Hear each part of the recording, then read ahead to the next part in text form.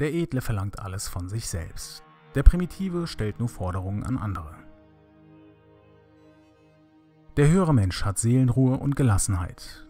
Der gewöhnliche ist stets voller Unruhe und Aufregung. Der Mann, der den Berg abtrug, war derselbe, der anfing, kleine Steine wegzutragen. Der Mensch hat dreierlei Wege, klug zu handeln. Erstens durch Nachdenken, das ist das Edelste.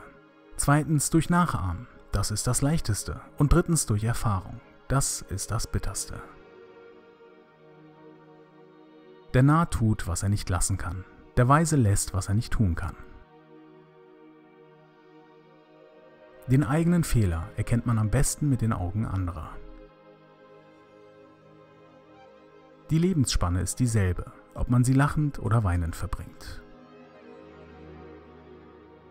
Echtes Wissen ist, wenn du das, was du weißt, als Wissen erkennst und das, was du nicht weißt, als Nichtwissen akzeptierst.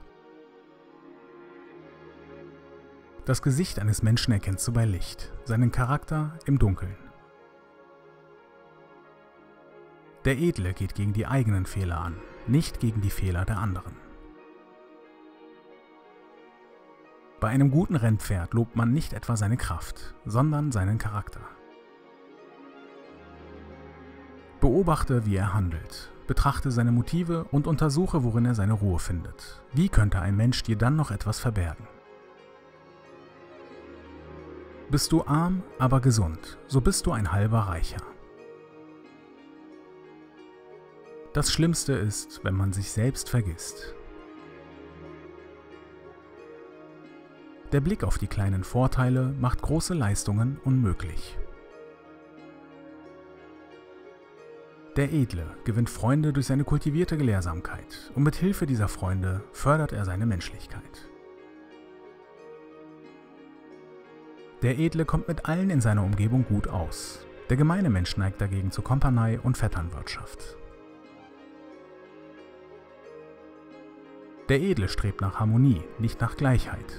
Der Gemeine strebt nach Gleichheit, nicht nach Harmonie. Die Natur des Menschen lässt sie einander nah sein, doch die Gebräuche halten sie voneinander fern. Du kannst den Hahn zwar einsperren, aber die Sonne geht doch auf. Du sollst unersättlich im Lernen und unermüdlich im Lehren sein. Ein Augenblick der Geduld kann viel Unheil verhüten. Ein edler Mensch schämt sich, wenn seine Worte ständig großartiger sind als seine Taten. Ein Edler orientiert sich immer nach oben, nur ein Gemeiner orientiert sich am untersten.